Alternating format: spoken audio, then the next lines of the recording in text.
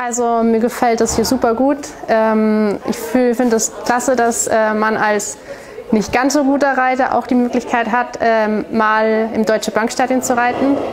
Ähm, aber ich freue mich natürlich aufs Chio, um mal die richtigen Reiter denen zuzugucken und was von denen abzuschauen.